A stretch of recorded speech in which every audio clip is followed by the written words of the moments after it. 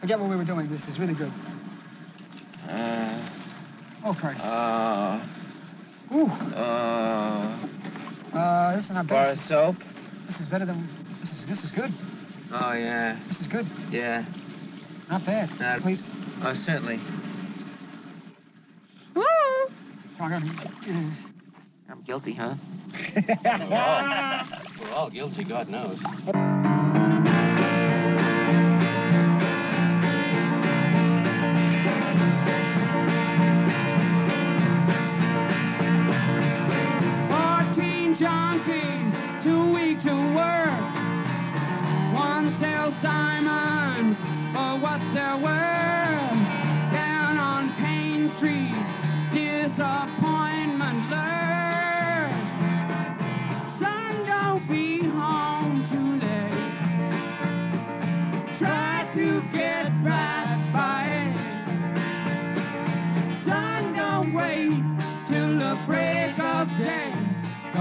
Know how time fades.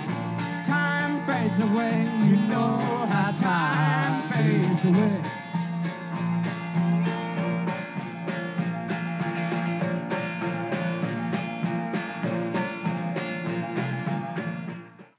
Now, how we're doing?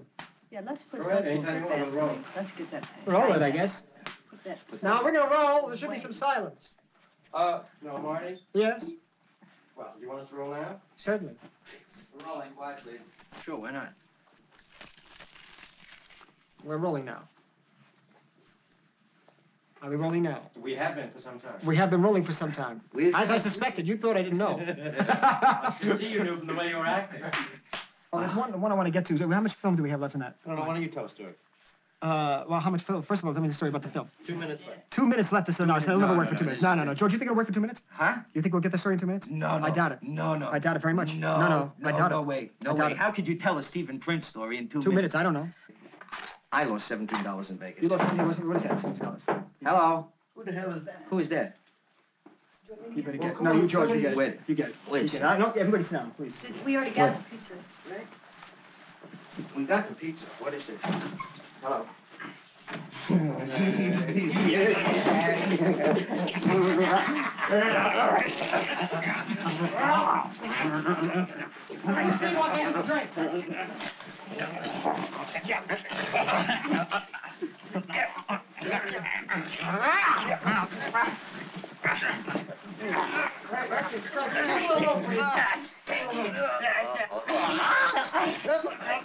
You give up? You give up? Yes.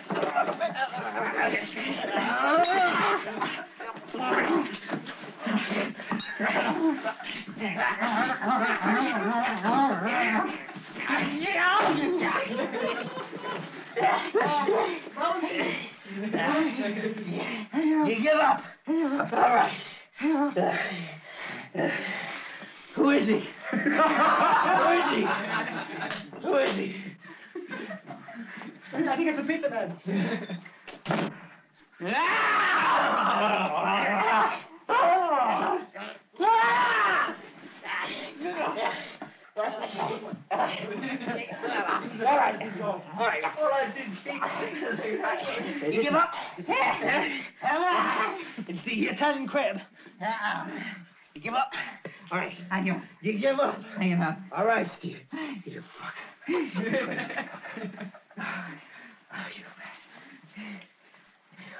Well, now that he's finally arrived. Steve? Is this your quarter? Oh, Jesus, we dropped this. We dropped the Pepsi Cola. Ah. Well, sit down. All right, now we can eat. Krug, all right, give me a kiss. Just a big wet one.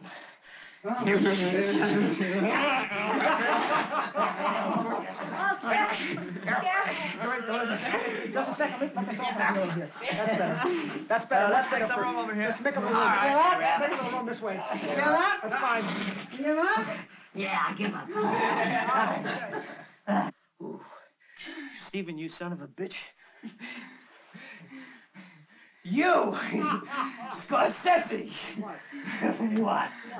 What? Well, I think now that both of you are here, we can tell some stories.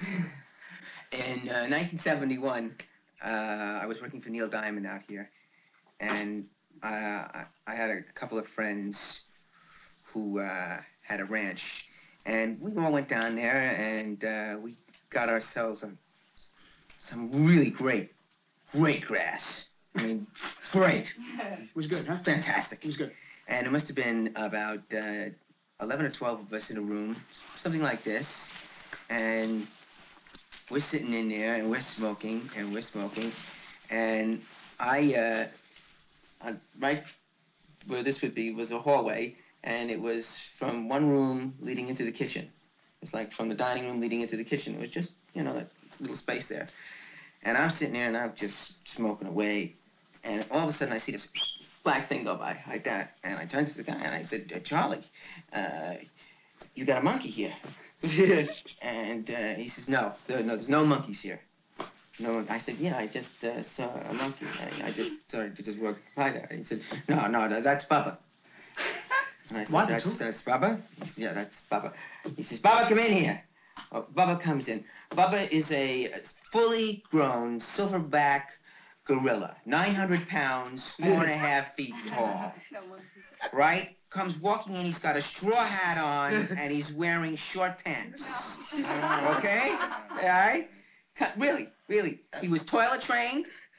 He was toilet trained, and when when you would go to him, when you would say when you would say to him, "I'm right, aren't I, Bubba?" He would shake his head yes. He'd say, "That's wrong, isn't it, Bubba?" He'd grunt, shake his head no.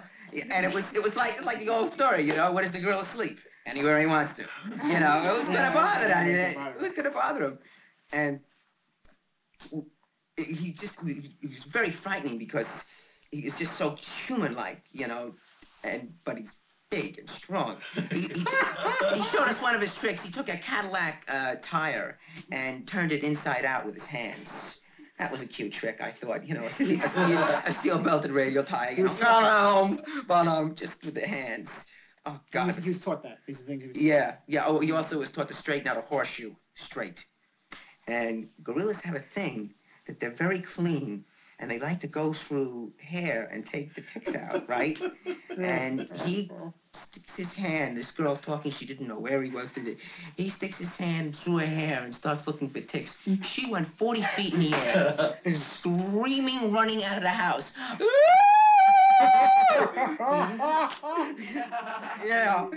never seen, never seen again.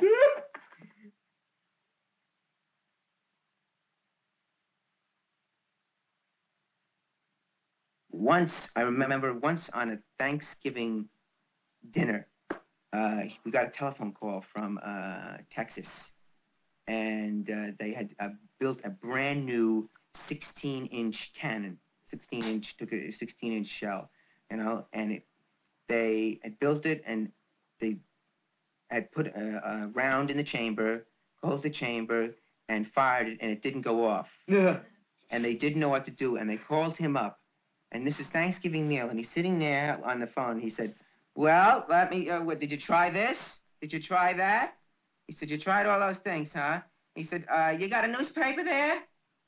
Okay. Open the uh, breech door, stuff newspaper in around the breech door, slam the breech door closed, get yourself about 200 yards of rope, tie it on to the, to the, to the cord, move way back, and pull it." And they move way back and they pull it, and you could hear it through the phone. you know,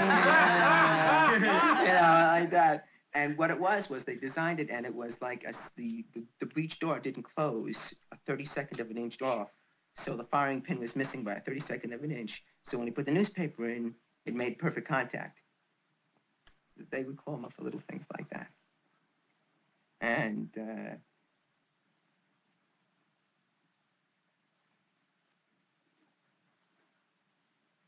Yeah. My mother, without a doubt, cooks the most bland food in the world. No taste at all. No taste. This man is saying that about his mother. Right. She was uh, she was really terrific, and she was a, she was a very strong lady. Uh, I can remember one uh, one one winter, a blizzard, she had planted the tree when we first moved into this house, and now the tree was like, you know, 20 years old, and uh, it was just beautiful tree, and this blizzard was just ripping it up by the roots. And my father, my brother Ronnie, my brother Jeffrey, myself are looking out the window at the hurricane and watching the tree being torn up, and it was just terrible. And uh, my brother Ronnie looks out the window and he says, "Look at that! There's somebody out there. Who's that asshole with their back hold, uh, holding the tree up?" And my father said, "That's no asshole. That's your mother. Get out there! Get out there! Get a get a block and tackle. Get some rope. Go get out of the street. And then my father went out there and stood in the middle of the hurricane, and he was put a put a line on that. Get a line over there. Get some boards up under that.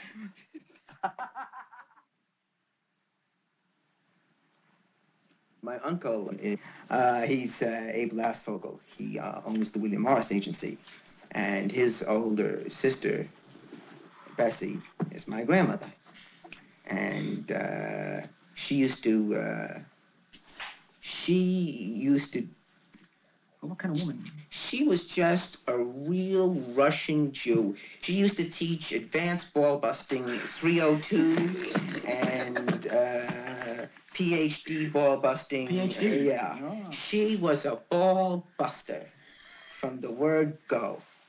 She cracked nuts from day to night, and she was unbelievable. And she, she was just, you know, when she'd take us out to dinner, uh, if the, the string beans were cold, send it back. You know, yeah, that kind of thing. The wine, you, you know, she, I- she, she, she, she taught me uh, to drinking wine, and she'd taste the wine, and she'd uh, taste it. It's no good. Break the case. I mean, what the- uh, she ran a paper company. Yeah. She ran a paper company till she was 84. Uh-huh. Uh, she uh, was right in there all the time. And she was in the office, and darting through the fire escape comes this uh, thief with a gun. And he wanted the payroll.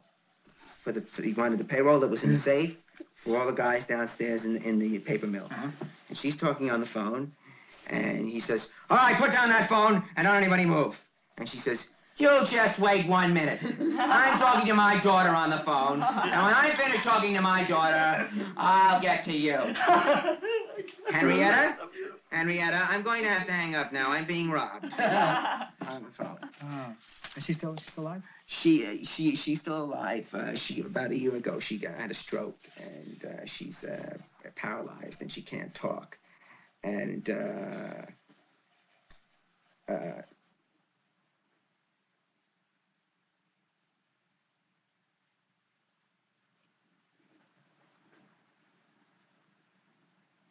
I was 16, but I liked to uh, make money. Uh, I uh, had a uh, an idea because um, the Great Neck area is uh, mostly Jewish people, and Jewish Oh. people like to have uh, bagels on Sunday morning. so I went over to Queens Line and bought hot bagels. And uh, for a very small amount of money, and brought them into Great Neck and sold them for a very large amount of money to the people in Great Neck turning over quite a profit. And after a while, I had five guys working for me. I didn't even have to get up out of bed. They were doing the whole thing. I had a whole route and everything. What did he call what? What What what- did you- what did you call your bagel business? hot bagels. Well, I think on that note, we'll go on to the next subject. There's something here about sailing. About an alcoholic skipper and a pitcher. I have, I have You have no absolutely no idea. idea what you're. This I is have Steve tells Yes, you do. No, just a second. know this story. Just a second, just a second. I just want to read you what this says here. After uh, a great deal of research we did in the whole thing, Steve tells about filling a pitcher with vodka. For No, the no, no, I'm teasing. I'm teasing. I know. Oh, I, I know. we, better, we we better cut that out. Note to the editor. We better cut that out because we'll blow the ending of the Uh, story. no, I was teasing. Okay, you want to tell the story? Uh, yeah. Uh, th- this man, um, who was a really very good sailor, decided that he was he, he took us, he would take us out and treat everybody. Uh, this was the Fourth of July, so it was a, a big, big thing. And he had a, a really big thing.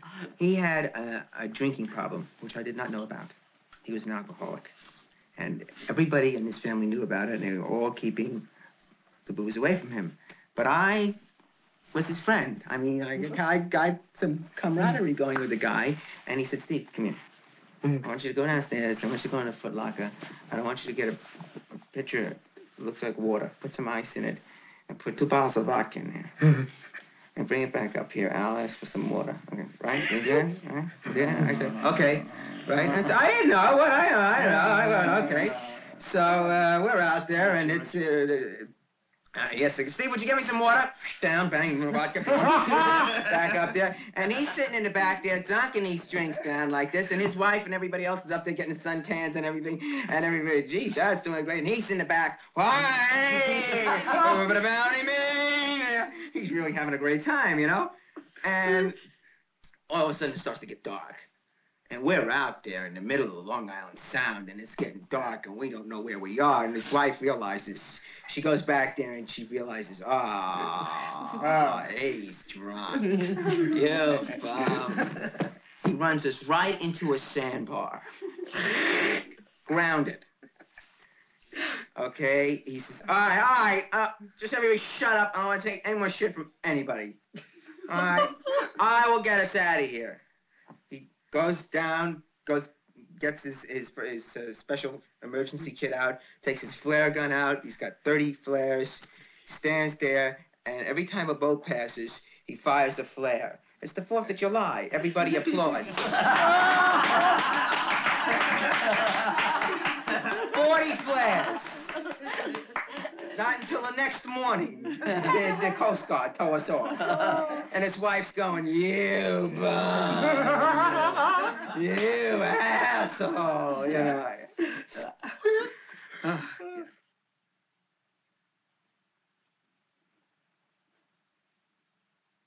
Tell Marty about that uh, cable, that cable that started I, sparking. I, I, I don't think that that's. Uh, Oh, come on, Steven. That you was- gotta that-. He doesn't That want to tell him. That was an accident. I had nothing We've- to do. who I died? had- We've Who I, died? I had nothing to do with it. Now, wait a second. If the Steven. kid didn't play with the cable to begin with, he wouldn't have gotten electrocuted. Yeah, but. That was an accident, and I had nothing to do with it. Steven, I've always said that. I've always said it was an accident. In Tompkins Square Park. Ah. It was in Tompkins Square Park. Was when I was on the mobile tour in the Tompkins Square Park. And we had we had these uh, connectors that connect together like this, and we ran like uh, 2,000 feet of cable from the generator trucks. Yeah. And uh, some kid uh, pulled apart uh, two two of the cables. Uh-huh. And uh, we, when I saw the meters go down, I uh, ran immediately to see where the break was. And we came running up on this kid, and he was standing against the metal fence with- in uh, in a puddle of water. And he was holding it by the rubber, but he had pulled it out, and he had the two brass. You know, the brass was sticking up on both things like that. And I, you know, when in that neighborhood, their first instinct is to run, because they figure that you're, you're going to give them hell. And I said, listen, when, no one's going to hurt you, no one's going to do anything to you, no one's going to, you know, don't worry about anything. And he dropped one cable into the fence, and he dropped the other cable into the, uh, Oh, no. into the water. And it was a, a DC generator truck. So Oh. it took me about a minute to get to the generator truck before I could hit the switch off. What happened? He fried. Oh. He's dead. Oh, yeah. Died. Yeah. Well.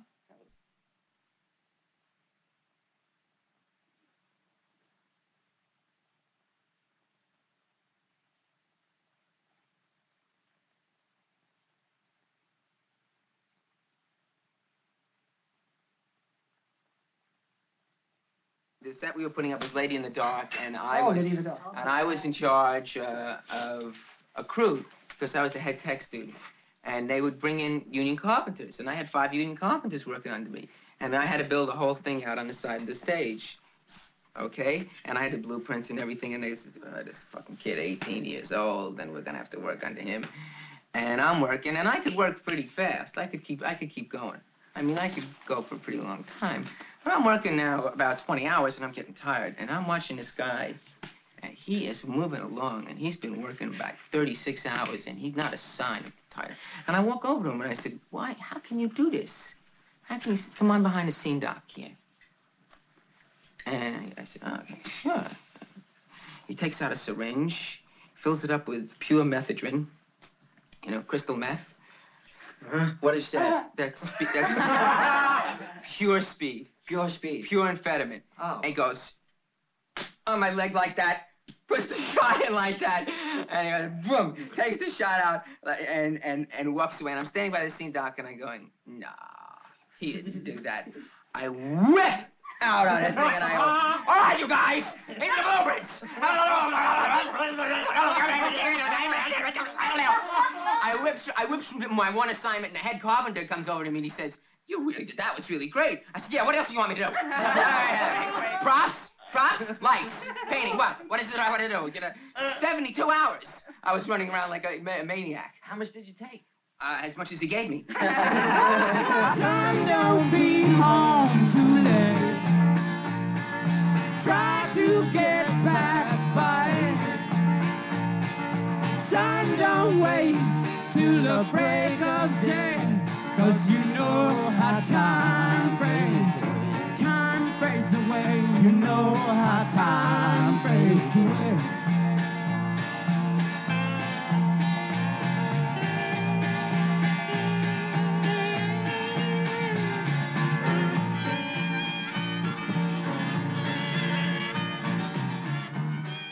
Oh, God, was I scared shitless. So what happened? Well, I had a plan, and uh, like I said, and uh, my father is a colonel in the army. I know the army. My brother brother's second lieutenant. I know the way the army thinks, the way that they're set up. So I had my plan based on that. I went in. You take first. You take a uh, a mental test, see how smart you are, so they can place you in what field. I answered every question truthfully, but I just left it and say yes or no to one question. What was that? One, the one question. What was it? Wait, wait, wait. Like, uh, I tell you. Uh, and then I took my physical examination. I passed with flying colors. Now, when you cause them a problem, you're immediately separated from the people who are going in and the people who are causing the problem. You are sent to the problem line, and I was sent to the problem line. And I was sent, and, and my case was reviewed by some second lieutenant. A 90-day wonder, you know? Guy was about maybe two days older than I was. They knew nothing about the army. And he had the pass stamp. And he had the pass stamp, and I could read the word "pass" upside down as he went down to, as he was going to go wonk on my paper. But he stopped because he, so he said, you have to answer this question. And the question uh, was, have you ever had a homosexual relationship? And do you have homosexual tendencies? Latent, latent homosexual tendencies. And I said, I can't answer that question. I said, my, my father's a uh, colonel in the army. He's had a heart attack. Uh, my brother's a second lieutenant. I refuse to answer that question. He says, you have to answer that question. I said, I refuse. He said, I'm, no. Now, then he calls his captain in. The captain comes in. He says, you have to answer that question. I said, "I'm- I, I'm not going to refuse. Captain says, all right, we give you our word that only military personnel will have access to this file. I said, oh, you, your word. That's your word. He said, yes. I said, okay, yes, I have. He said, failed, leave, boom, boom, boom. One o'clock in the afternoon. I was out. I was out. I was it. Out. One o'clock in the afternoon. They got, and I got a 4F. And they weren't giving 4Fs then either. Wasn't Stephen Mislove in No, no, no, he? went at a different time. No. Oh. Because the rumor around town was that you named him as correspondent. Yeah, I did. Ah, I did. I did. true. Yeah, You- Then you did. yeah, I named it. They asked you to name the correspondent of who you had the homosexual relationship with. Oh, God. And I said, yeah, Stephen Mislove Oh, that's and uh, Michael Mislove and their father, Max Mislove. Then I was in New York, and uh, I was still working for the Shakespeare Festival at that time. And I just finished up. We Hair just opened at the downtown theaters. I did the lights for Hair, and uh, then I went to work for Fred Weintraub, who I'd worked on and off for. You knew Fred a long time? I knew Fred a long time because he managed the Pickle Brothers. I Ah. knew Fred since I was 16. Fred would refer to me as his nemesis.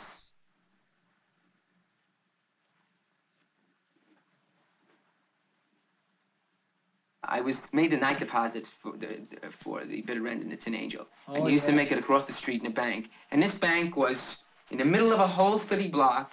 It was right in the middle. Nothing was on either side of it. You could see everything that went on there. You just had to open it and drop the, the thing in the box. That was it. There was nobody around or anything. And I used to carry a gun. I have a permit to carry a gun. And I carried a gun. It was freezing at night. I put my key in, pulled the thing down, went to drop the uh, night deposit in, and a knife came right there. And I said, It's not my money, take it. The guy took it and he ran. He ran about 20 feet. And I pulled the gun out, and it was an automatic, and I cocked it, and he heard the metal slam home. And he just froze. And I said, Don't move. You scared the shit out of me. You move and I'll kill you. And, and, I, and I had him lie down on the ground, and then Jack the cop came. Jack the cop. Jack, Who's the, Jack Jack, Jack the cop is the, is the guy who's on uh, the uh, the Bleecker Street uh, Oh, yeah. the Bleecker Street That's route. right. Yeah. Okay, and Jack comes comes over and he says, "What do you got here?" And he took he said he took the gun, he took my gun away, and he uh, I, I you know he released the ha- hammer and he put it back in my thing. He says, "What do you got here?" I said, "Guy robbed me." And he said, "I said uh, arrest him." He said, "No, look," he said, "if I arrest him, I'm gonna have to go downtown to fill out reports for 18 hours. I'll go around a corner." You shoot him. And this guy's laying down on the ground. Don't kill me! Don't shoot me! You shoot him, and then the detectives will come, and they'll have to fill the reports out. And, and, and every time the guy started doing something, he hit him with the club. Quiet! I'm talking. Quiet, be quiet, boom. You shoot him, and then I'll come here. Quiet, boom. So then he finally just picked the guy up and arrested him and made the collar. So what was, it, what was it like with drugs at this time? Was it uh, rough stuff yet? Uh, yeah, well, I was I was uh, starting to get into uh, uh, when I was working at Tin Angel. I was uh, getting into uh, heavy drugs, pretty heavy drugs. I'd done I'd done acid, and acid didn't particularly interest me, and cocaine did, you know, take take it or leave it, grass or hash. But heroin always interested me, and I got. Uh, started uh, using heroin every once in a while. After a while, I got to use it, I I guess, as a, a crutch because uh, I would be high all the time. Yeah. And I was 21 years old, and I was road managing. And I was, you know, it was a big job, it was a big responsibility. And I had to deal with a lot of people who didn't want to know about me.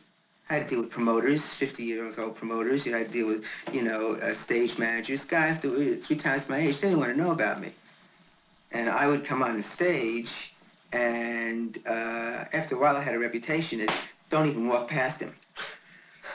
Don't, don't, don't, don't even talk to that person because yeah, I go, fuck you, yo, fuck you. I can't, I can't have that dressing room. Well, let me tell you something, brother. You got 12,000 people out there, and they want to see Neil Diamond, right? He's not coming tonight.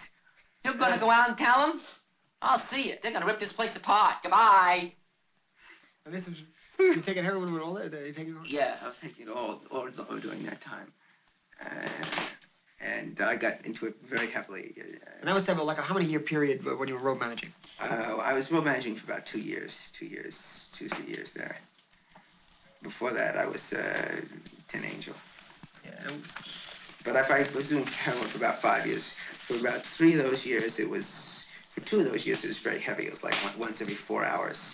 Oh. Uh, you see, uh, as my, I, when I scheduled plane flights for uh, Neil, uh, no, the, nobody knew about this, but we never made a plane flight that lasted more than four hours. We'd always make connections. They never figured it out. They didn't. know. They figured, oh well, Steve knows what he's doing. I mean, obviously he's in charge. Hours. But what, what was it? You really functioned better and everything when road managing and all that? Carrying all that equipment and the shows per night, uh, back and forth. Oh yeah. Oh yeah. Oh sure. Because it's no, it's it's it's um an energy. It's it's after you're after you're over the the uh, you're into the initial of it as a life juice. It's like the tana leaf. It's like the The mummy's tomb. right? You know, you gotta chorus must have the tana leaf.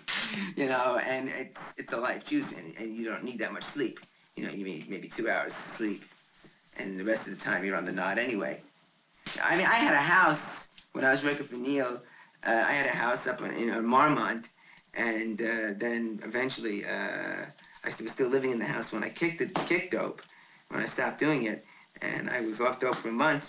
And uh, one day I walked into the kitchen, and I realized that the ceiling in the kitchen was painted green. Because my eyes were never open that much to see the ceiling. I mean, I was like this.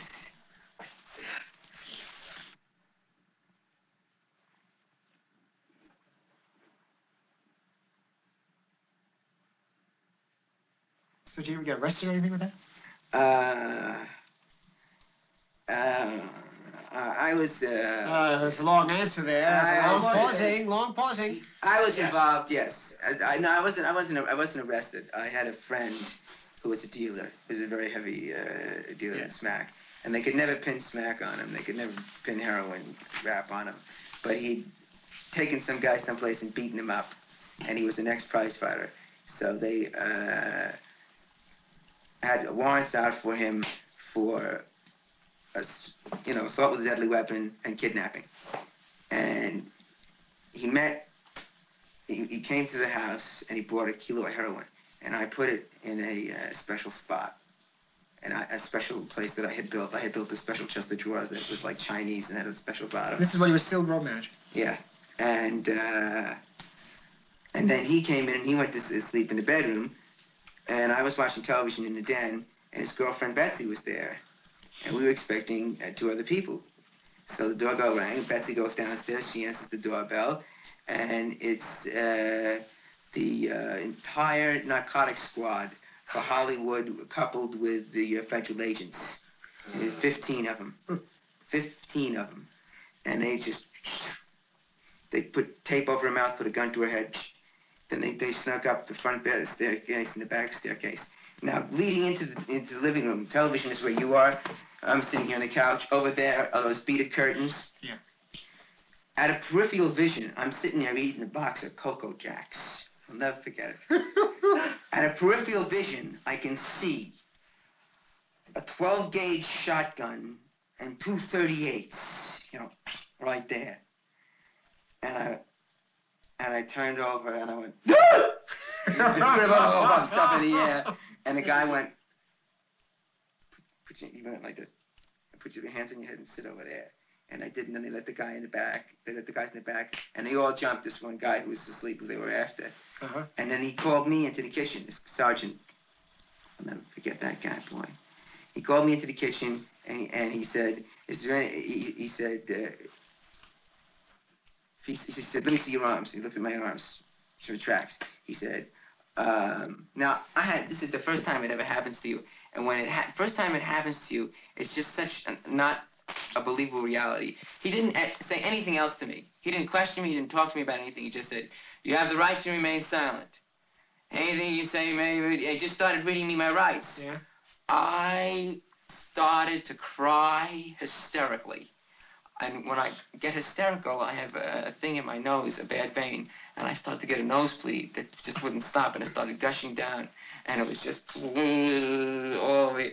And, and it ended up, I was laying on my bed. One policeman had a cold cloth behind my uh, back of my neck. Another policeman had a tissue up my nose. And another one was saying, You're not going to jail. Please stop crying.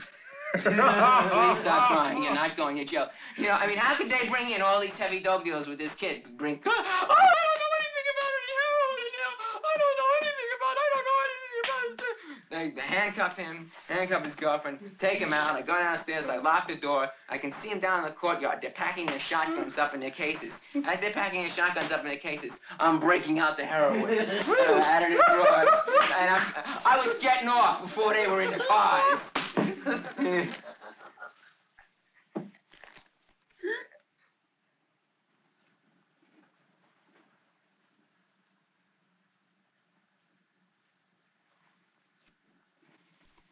That I used to cop from this guy, Big. His name was Big. He was uh, he was a four foot uh, Negro. His name was Big. He had two uh, two toes shot off in Vietnam. He shot them off himself so he could get out. He was he was a he was a dealer. He was on 14th Street, and uh, we used to go down there, and I used to go in to uh, this this hallway that smelled from urine guys with urine in there, go up a flight of stairs, knock on the door. Yo, there? Steve. Steve who? Steve your ass, Steve who. Up in the boom. And you go in, and it was a shooting gallery. You'd go in, use his works, you'd buy the dope. Right? Now they had this couch in there. Couch was like this, only the back was broken down, and they had a uh, blanket over it. And uh, I come in one I come in one night, and uh, um, there's three guys ahead of me waiting to get off, and there's a guy getting off at the table, and these three guys are standing up against the wall. And uh, I see him standing there, and I look, and I see the couch, and I uh, sit down on the couch. Just sit down there. And, I mean, the second I sit down, all the eyes in the room snap on me. And uh, Big says, "Hey, you remember Joey?" He said, "Yeah, sure, yeah, I know Joey." So well, you're sitting on him. I said, "Oh, oh, yeah." The guy was dead. Oh, hmm, that's, yeah, that's right. And then I just put the blanket down, and then I got back on the end of the line, you know. I mean, you wasn't gonna lose my place in line. and but out of that, you uh, you know, out of close calls, uh, I managed to get a lot of um, medical supplies, medical equipment that you didn't normally have. Like we had oxygen, we had uh, an electronic stethoscope that maybe gave a tape readout so you could tell how many heartbeats. We had adrenaline shots. We had uh, all kinds of stuff, to, to, the kind of shots to bring you through in your OD. And this girl uh, once OD'd on us. And she was out, man. And it was my myself and his, and his her boyfriend. And he said, uh, and her heartbeat was dropping down. And we got everything out, and oxygen, and nothing was working. And he looked at me and he says, well, you're gonna have to give her an adrenaline shot. I said, what are you talking about? He's, I said, you give it to her. He says, I can't. It's like a doctor working on someone in his own family. I said, that's bullshit. You've known her two days. What the fuck is that? You know, and, and, and he said, no, I can't do it. And so I, I had, we had the medical dictionary. You know how you give an adrenaline shot? Okay, your adrenaline needle's like about that big, and you got to give it into the heart. And you have to put it in a stabbing motion and then plunge down on a thing. I got the medical dictionary out, looked it up, got a magic marker, made a magic marker where her heart was, measured down, measured down like uh, two or three ribs, and measured in between there. And I just stood there and I went, huh! And then, uh, and she came back like that. She just came right back like that. So then what about Neil? What kind of relationship did you have with Neil? Neil Diamond? when he found out that uh, that I was uh, pretty uh, heavily into heroin, which uh, it, it took, uh, I mean, he was like the last to know, uh, because just just because I kept it pretty cool from him. Some of the other people in the band knew, but he was like the last to know, and he he did a very.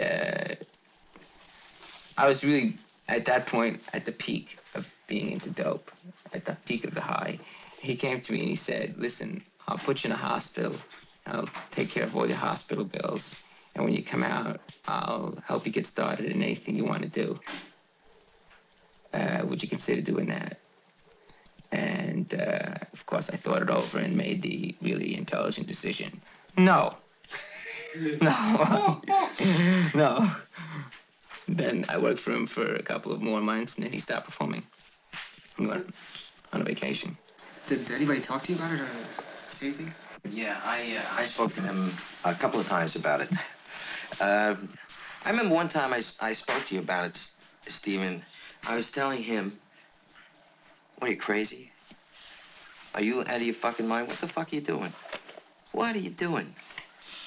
You, you want to kill yourself? Is that what you want to do? You want to go out that way? And Steven says to me, that's not a bad way to go. I mean, you just get higher and higher and higher and higher and higher and higher and higher and higher. And you just fly away. Yeah. I, I really can't think of. Uh, I mean, there's no, there's no nice way to go. You know, but if someone was to come up to me and say, uh, "Sorry, you leave a tree," I'd say, "Well, How about uh, going out and smack?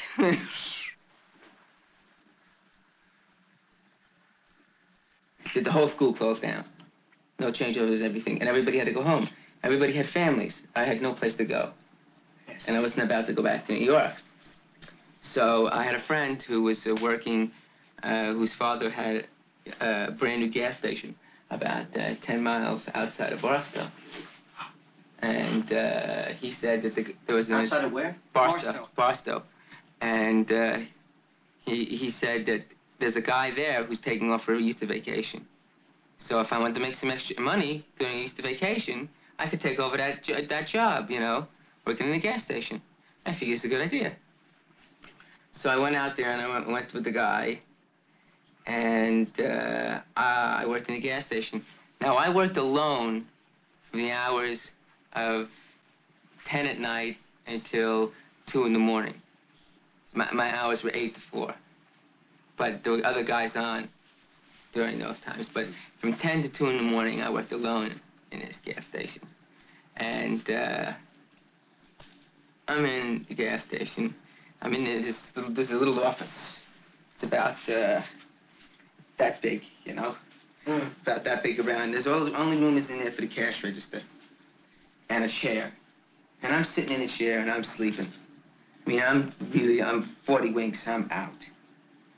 And I hear a noise. So I get, a, wake, get up, get up out of the chair, and I walk out onto the, there's a little stoop, you know, on, so you step down. And I look out, and I look down way at the other end of the gas station, 50 yards. It's one of those big, huge, super big gas stations. 50 yards down there, we had these tire racks with the chains that went through the tire racks. Okay, there's an Econoline van down there.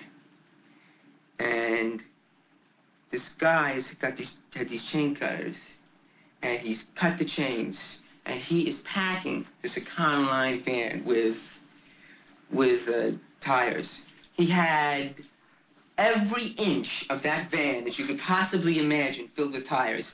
He had the last two tires that he was going to put in. The last two tires, he was just about to put them in, then he would have closed the door and driven away.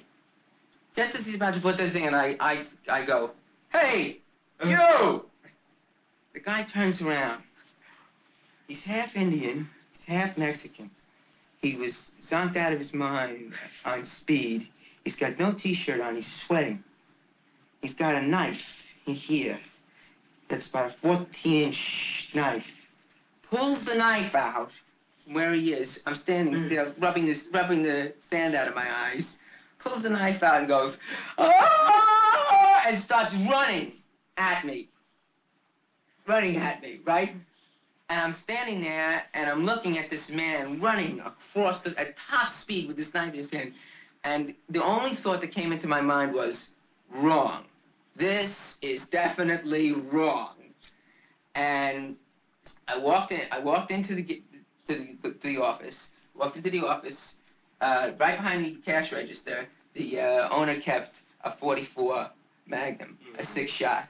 Right. I turned. I cocked it. Turned around, and the guy was just coming through the door. Just coming through the door, the, the doorway. And just as he was coming through the door, I fired. And I hit him right in the chest. And as fast as he came in that door, he went out. Okay? I blew him out past into the pumps. I blew him between ethyl and regular. Seriously. He was out there. He was out there some between ethyl and regular. Now the guy must have been he because he had the knife out and he the blood was just down the front of, of him like this. And there was a hole in his chest you could have driven a truck through. But he was on speed or something because he uh, made a, like a last nervous move up off the pumps to come at me like that. At which point, I just took the revolver and emptied it in him, blowing him out of the gas station. Six, six shots with a 44 Magnum. Then I went on the phone and I called the highway patrol and I told them I just killed a man. And, and I hung up and I said, where? And I hung up. And I went, then I went and I sat down in a little chair in front of the gas station. And in the desert, before you could hear the sirens, you could see the lights. Red flashing lights, blue flashing lights, green flashing lights, helicopters flashing, know, and they came and boom, riot squad came in, and I was still sitting, I was still sitting out on the porch with, with a gun in my hand. Some sergeant came up, you know, he had a, he had the gun on me at all times, his gun on me, but I was just sitting there in shock. I was completely in shock. He took the gun out of my hands, and they took me to the hospital. And then I had to be uh, examined by three psychiatrists for, after the coroner's inquest. Now, the guy was wanted. He was uh, escaped from some, you know, detention camp or something. He's, he was a, a rapist, a known rapist. It was not important. But uh, at, at any rate, they uh, made me go through three days of examinations. And the main, the main question on their minds was, why did I shoot the man six times? because obviously the one shot killed the sucker. And I said, I said I don't, I didn't, I, which I didn't, I did, I did not remember the other five shots. I said, bloom, 25 yards outside, out of the, out of the, yeah, out of, right out, right out of the station. Uh, yeah, it was, uh, it was, and what a wonderful way to spend my Easter vacation. Did you did you ever think of as about why you shot him six times? Yeah, because I mean, I, I had the, the experience of just shooting him that one time. I mean, ever sh- just shooting a man. I mean, you know, the experience of doing that and seeing him standing there bleeding. It was, I mean, I was completely intense anxiety. I was shaking, and then he got up like he was going to move towards me. And uh, my father always taught me never aim a gun at anybody. Never ever aim a gun at anybody unless you're going to shoot him. And if you're going to shoot him, kill him. Would you mind pointing that gun in the other direction? Don't ever let don't ever let him get up again. When he gets up, he's going to kill you. And he got up. What What'd you think? What'd you really think when you when he was coming at you though? When he was coming at me, Yeah. uh, I before I before I squeezed the trigger, when he was coming through the door, Yeah. I could see the sweat off of him, and I could see his eyes, and his eyes were just glass. I mean, you I'll never, I'll never, ever forget the expression of those, that guy's eyes. It was just, I mean, he had written all over him, "I'm going to hurt you," While holding I'm, the knife. I'm going to cut you up six ways from Sunday and mail you. Jesus. I mean, that was that was strictly, you know, that's when that's when reaction has to take over. When survival has to take over. You've got to at at that point make the decision. So I, that was, was my my Easter vacation.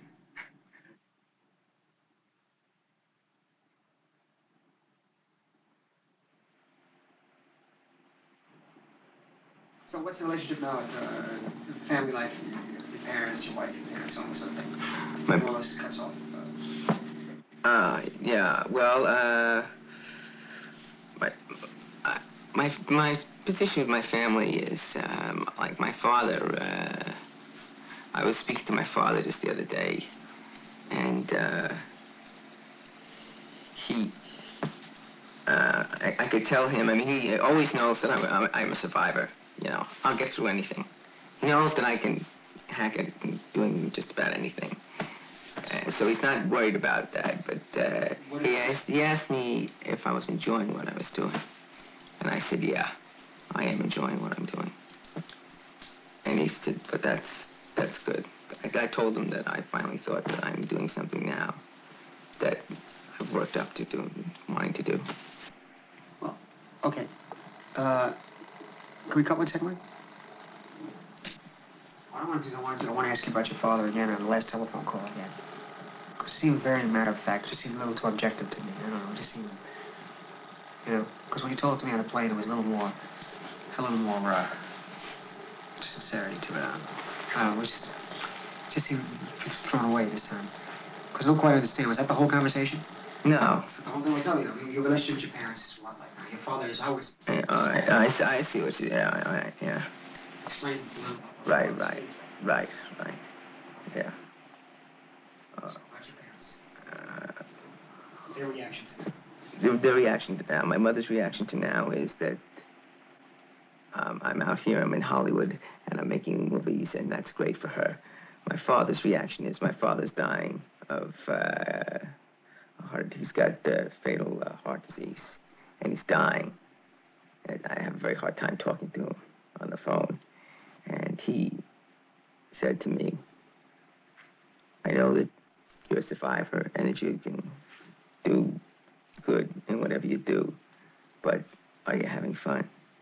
And I said, yeah, I'm enjoying what I'm doing. I really like doing. Are you happy? I said, happy. Because are having fun? Just try to have it perfect. I just want to hear it down the other way. But are you happy? But are you happy? That's all. Same way? Yeah. Okay. So when he spoke to on the phone, what did he say? He said, uh, okay, wait a second.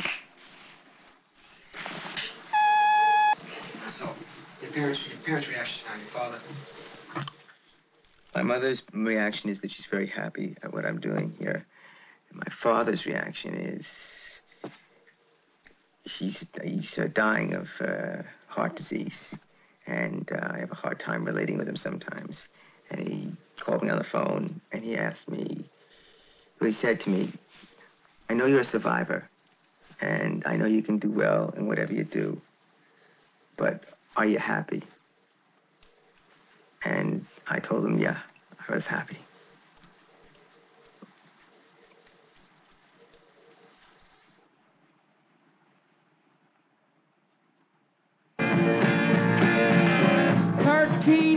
Junkies, too weak to work. One sells diamonds for what they're worth. Down on Main Street, disappointment